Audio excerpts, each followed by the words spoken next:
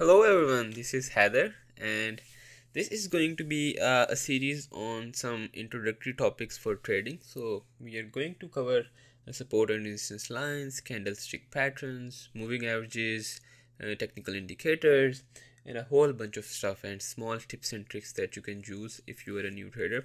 So this series is focused on completely new traders who are into trading let's say in their first or second month and they can't uh, seem to get going and they can't seem to find any new setups and they're ha having any problem let's say understanding all these concepts so this is again a beginners uh, series we'll have a bunch of topics that we'll cover and all of those videos will be very short videos.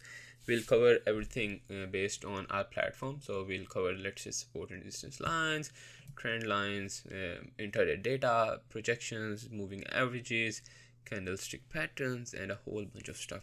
So uh, st stick with us. This is going to be a very interesting series for beginners. Thank you. See you guys in the next video